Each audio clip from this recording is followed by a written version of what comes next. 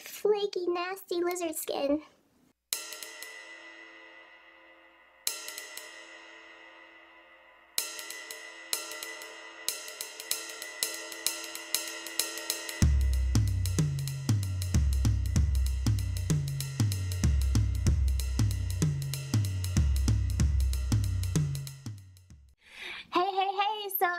Going to be a first impression on the new Anastasia Beverly Hills Stick Foundation. This foundation was much anticipated and I'm excited to try it although it is supposed to be a little bit better for normal combination to oily skin so I'm very dry so so we'll see I don't have crazy high hopes for this to work for me. But I already did my eye makeup. It costs 25 US dollars, which is actually kind of inexpensive for a high-end stick foundation. Comparatively, the Makeup Forever one costs $44, I believe, and the Hourglass one costs even more. This comes with 9 grams of product or 0.32 ounces of product. It's more than what the Hourglass Stick Foundation comes with and less than what the Makeup Forever one comes with. It doesn't contain any SPF. It comes in 28 different shades, so chances are you will be able to find a shade for you. It is ideal for travel because it's so compact and a stick foundation is not messy. Some of the claims are that it's a natural matte finish that's highly pigmented, buildable coverage. You can use it sheer and use it like a tinted moisturizer or you're supposed to be able to build it up to create full coverage. It's supposed to be pretty versatile in that respect. Today I'm gonna apply it and test it out for you, see what the wear is like, see if it's transfer proof, how much coverage I can get out of this thing and all that jazz. I tend to have very dry skin and like sheer coverage so this foundation isn't necessarily geared toward me, but uh, let's try it out. So I'm going to break up my face into quadrants. I'm going to put a hydrating primer on the lower half of my face. And then on the left half, I'm going to use a brush. And the right half, I'm going to use a sponge. So up here, it's going to be just a brush, no primer, brush and primer, sponge, no primer, sponge with primer. My main concerns are redness and texture. So we'll see how this foundation deals with those things. For a brush, I'm going to use my favorite Urban Decay foundation brush. The shade I have is Warm Porcelain. This foundation consistency reminds me a little bit of the cream contour palettes from Anastasia. It's a little bit more of a thicker cream, a little bit harder to blend. It's thick, but it's not full coverage uh, right off the bat. On the area with the primer on the lower half, it glides on way easier. The hydrating primer that I used was the Makeup Forever Step 1 Skin Equalizer in Hydrating. The shade I have is a little bit lighter than my skin tone right now, but I'm okay with that because I still have a little bit of a tan and I'm going to be getting much fairer in the winter months. Up on my forehead I have a lot of textural issues, so let's see how it works with that. Before I go on to the second layer, I'm going to go ahead and adjust this side of my face with my sponge.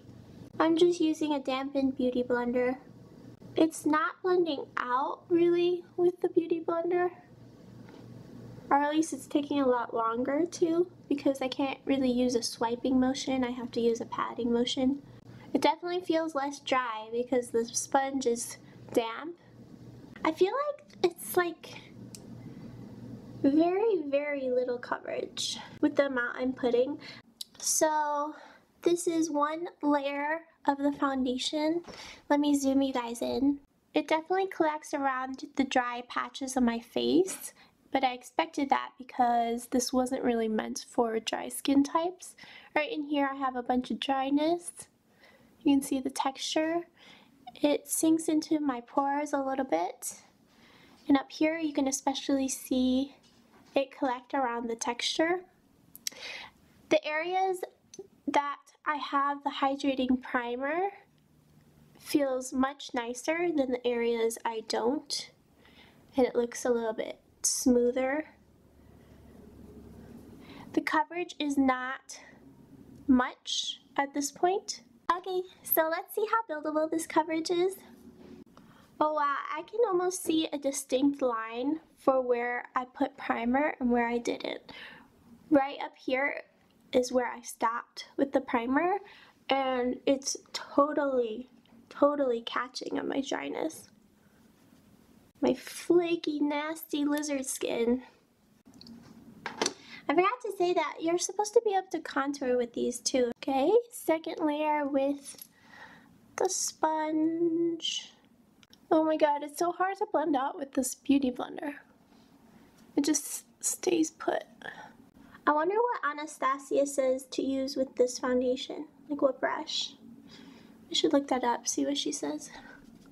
It feels almost powdery to the touch. It's definitely a natural matte finish.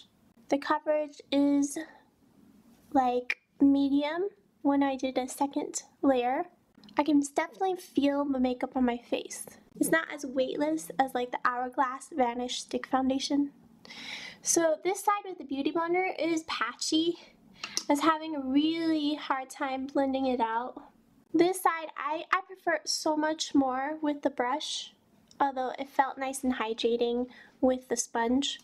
I think next time what I'm going to do is I'm going to try it with a spritz of MAC Fix Plus. It just catches on the dry patches, which, I mean, I can't really blame them for because they did say that this is more for not dry skin types. For this last layer, I'm going to try spritzing my brush with the MAC Fix Plus.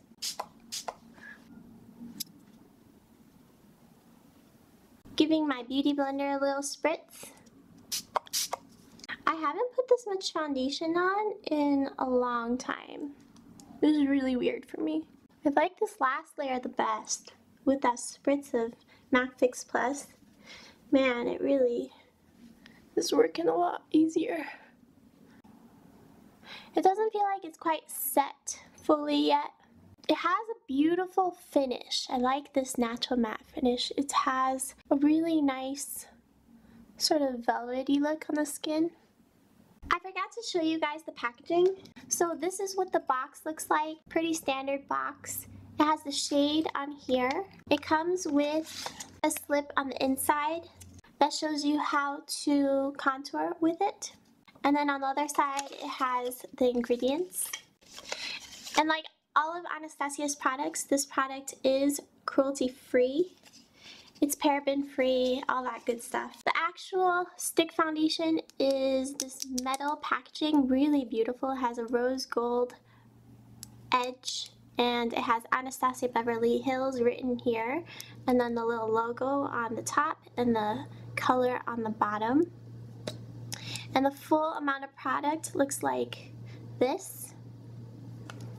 And like I said, it has less product than a Makeup Forever stick foundation and more product than an Hourglass foundation, stick foundation. Okay, so now that my full face is on, I think that this foundation looks really beautiful. It looks so perfect except for the areas where I have little flaky dry patches. Everywhere else looks really beautiful and from here down it looks gorgeous and that's with my primer. I do like the side that I use my brush better. Over here, the coverage is a little patchy just because of the way I applied it with the sponge. Inconsistent coverage. I don't know how else to describe it, but velvety. Alrighty, I'm not gonna spritz my face with my Skindinavia finishing spray, even though I pretty much do that daily. I'm gonna let this foundation do its thing with what we've got on it now and I will check in with you a few hours from now. Right now it's 11, hold on, right around 11.30 and so I'm gonna check in with you in a few hours and we'll see how it's worn. Hey guys, so I am on my third cup of tea of the day. This lipstick is wearing really well, actually. It is now 148. I haven't found that the foundation has really oxidized much at all. It actually doesn't seem like it ever really dried down completely. It's kind of transfery and I mean, I used a light amount of powder, but the areas where I didn't really use a whole lot of powder, it seems almost slightly tacky still, which is really weird for a matte foundation, I think. But it definitely feels like a foundation that would move if I was sweating or if I was to like rub my face, I feel like it would kind of move. So I don't know, I don't really love that about it. Maybe it's meant to really be set with powder, like a setting setting powder, but I don't know. Otherwise, the way it looks, looks exactly the same, I think. Hey guys, there are a couple notable changes. This fine line right around my mouth slash nose definitely has become a little bit more accentuated Normally what I would do is I would go ahead and pat that to kind of make it look even again. But since this is a first impressions, I'm going to leave it alone, and see what it does. Everywhere else looks pretty much the same. It was really hard to build up full coverage. And even now that I have three layers of this on, it doesn't look full coverage to me it looks like medium coverage. so I don't know. I mean, I would use this as what it is, as a sheer matte foundation, which is nice because I don't really have any sheer matte foundations, I don't think. I think I'm going to use it with my Cover FX Radiance Oil and pat that on my skin a little bit before I go in with my foundation. I have a feeling it's going to glide on super smooth and look really beautiful with that. Okay, so it's around 8.30. I've been wearing this makeup for about 9 hours. I think that this makeup has deteriorated around certain areas of my face. Alright, so right around my chin, this happens a lot because I tend to touch my chin rub it, that kind of thing, and right around my nose. But for the most part, it's pretty intact. It looks fairly good. It's worn pretty well. For having three layers, it's really not that bad. So my final thoughts about this makeup is that I like it, I enjoy it. If I were to use it again, I would use it definitely with a hydrating base and with a brush, a dampened brush, I think that I would put less on as well and use it on days where I don't want a whole lot of coverage. Things are starting to peek through a little bit, a little bit of redness here and there, but that's not too unusual for me for eight hours of wear. It's really doing pretty well. It's one of those foundations that I feel like it never really fully set. It's almost like it's sitting on top of my skin and I can wipe it off fairly easily if I wanted.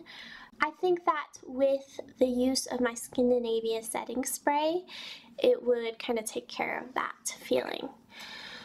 I hope that this first impressions was somehow useful for you. I think that somebody with slightly more normal skin slash oily skin might like this foundation even better than somebody like me who has very dry skin because it definitely doesn't do many favors for the very dry patches.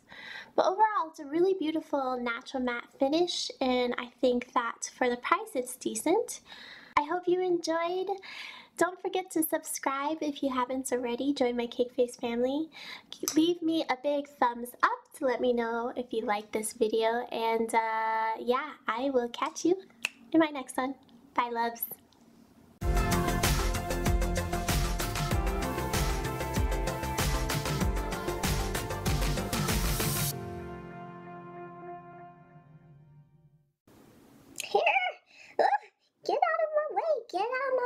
Get out of my way!